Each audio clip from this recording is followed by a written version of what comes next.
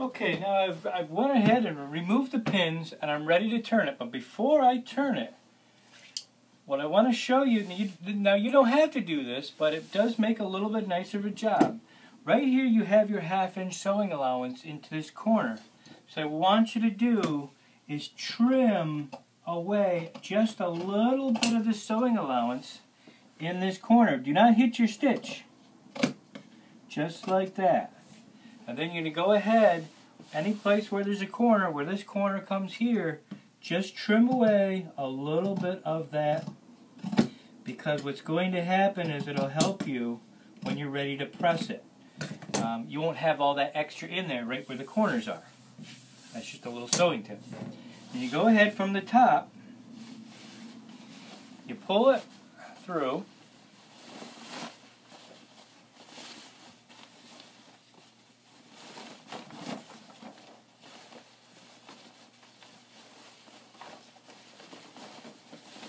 like so.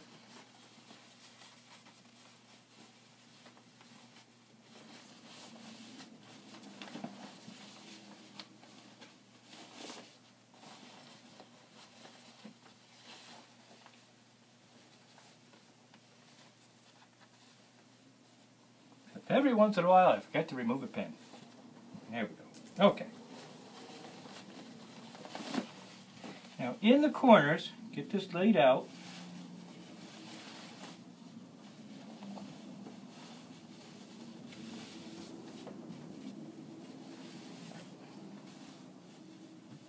be sure that you get these corners, all the fabric out of them. Sometimes you want to take a pin and go in there and pull this out just so you have it even.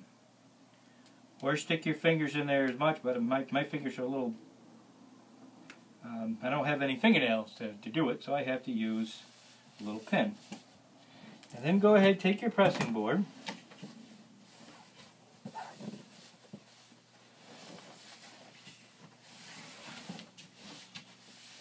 I like to start with the bottom. Bottom is probably the most important part of it. Make sure you pull the fabric out so you're, e you're even with your lining.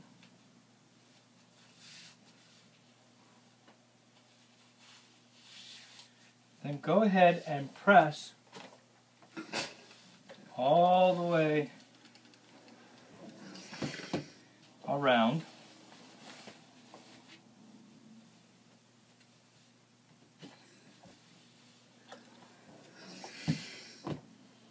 Again, if you see a corner that is not out, pull it out with the pin. Want to make sure you have a nice squared off um. Okay, so the, the jabot is all pressed. Now I've stuck my pattern back on, and what you'll notice now is that your pattern's a little bit wider because we've got this sewn and it's only about a half inch. So you just want to put it on and drape over a little bit of pattern a half inch on that side and a half inch on that side. Then right where the notches are in your pattern, go ahead and put notches onto the jabot. Those are your pleating notches.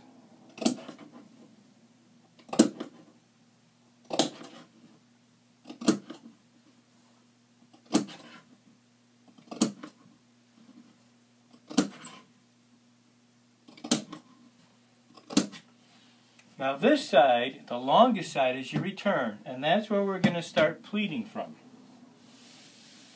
So now I'm going to turn this around. Well, let me see, I probably can't. Let me keep it, keep it so you can see it.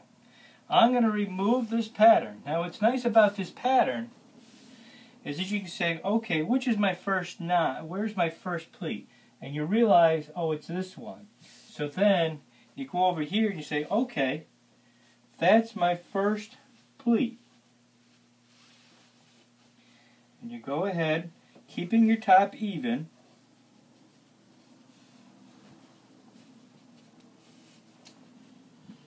and you're going to stick a pin. Here, matter of fact, you may want to stick two pins. You want to make sure you're going through all your material.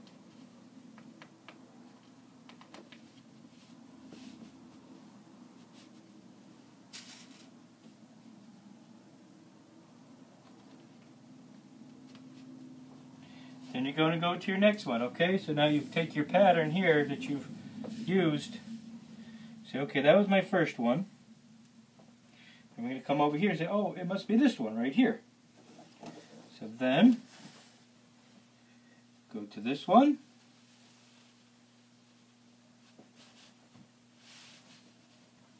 And there's our second one.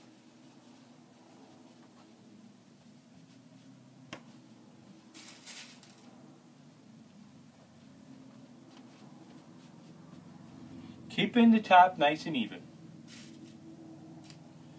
Another pin. Okay, so that's your return. That's your first one. That's your second one. came over here. Your third one is right here. You can just follow the pattern that you made. It's right there. Come over here. And that's the beauty of my patterns, that they, they're, they're made so you can follow them. And you've got a left and a right, so when you do your other jabot, you'll follow the other pattern.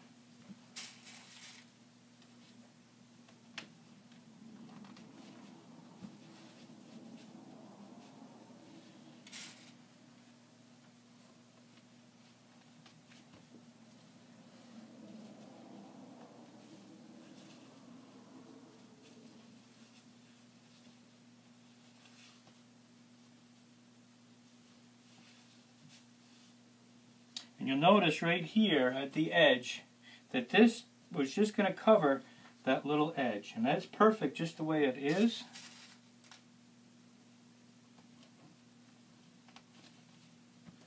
Now what I'm going to recommend you do at this point, you don't have to, but what I like to do is to pin all these folds in. Just makes a little nicer job. And you may have to measure you know if this is a three and a half or four inch return, keep it lined up. Just take your tape measure and make sure that it is. And starting from that side, stick some pins in it.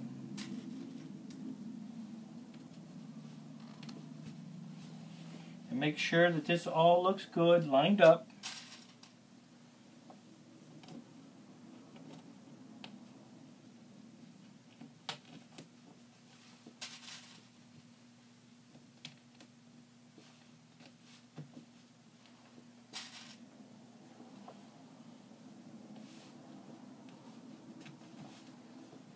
Pins in it.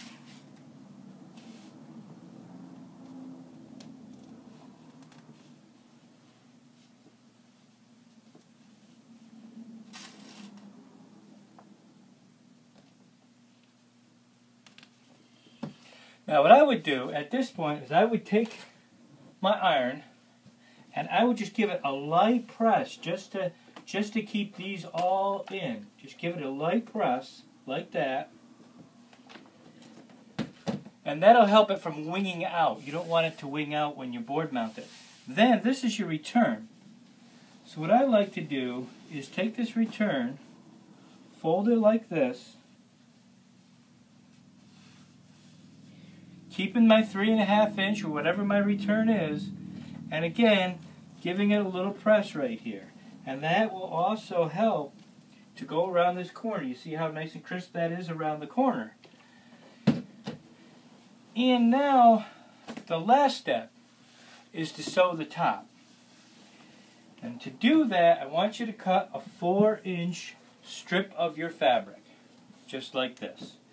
And you can cut it down. You'd want it like uh, maybe 2 inches on each side of this. Like that. And now we're going to go ahead and we're going to sew this down. We'll be right back.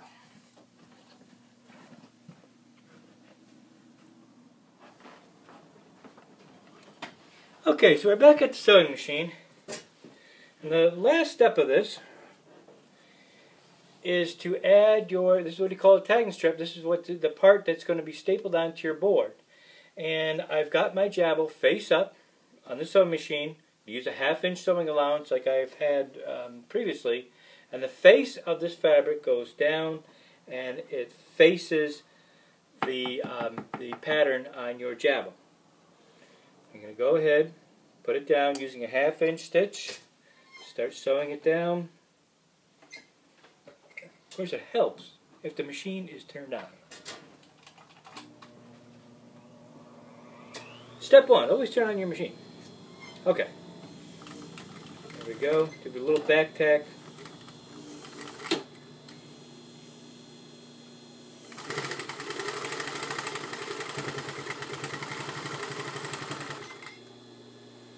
Your home sewing machine may not like the thickness, so you might have to go a little slower. Okay, give a little back tack at the end. Take it out. Now there's one tiny little step left, and I'll show you that in a minute.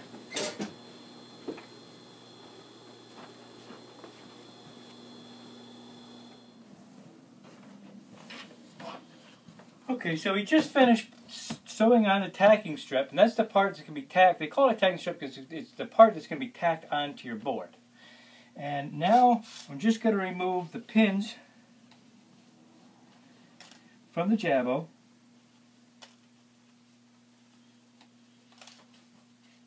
And the last part is to press this down. That's going to give you a nice clean edge right here to staple onto your board. And the part that gets stapled onto your board is from, from your sewing line here. And then when you staple it, follow my instructions on how to professionally staple this onto your board. Um, it's all there. Um, these videos, my patterns, I don't think you're going to fail. They, um, and it's probably the only way because what I've understood from many, many people is uh, they're, um, swags and jabots are just too complicated. Just go by the by a piece of paper, um, the paper pattern. So I hope you uh, have great success. You can always email me. I'll be glad to help you and to support you in any way I can. Thank you very much. Scott Weaver from Factory Direct Window Treatments.